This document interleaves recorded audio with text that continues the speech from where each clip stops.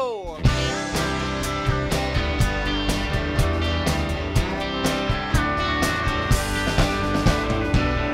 I don't hear back in 89, February 28. A lot of my writing gets influenced by where I grew up, where I was born and raised.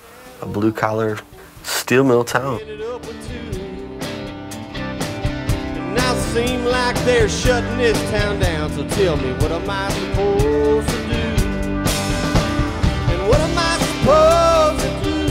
One of my favorite songs I ever wrote, uh, a song called uh, What Am I Supposed to Do? I wrote it about a guy when I was a fireman, and what happened is this uh, U.S. Steel had shut down for six months, and he was having like a, a panic attack because they told him, hit the bricks, man, like you're done, like we're laying you off.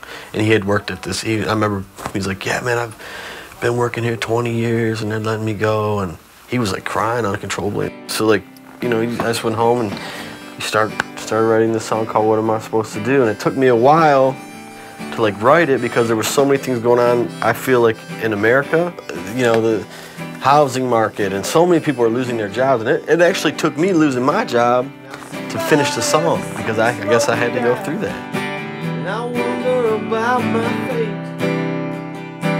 Government check's gonna stop coming soon. So much better when you write from the heart and you're talking about things that you're going through or someone else is going through and it comes from the heart. You can tell. That's just it. Nothing better than that.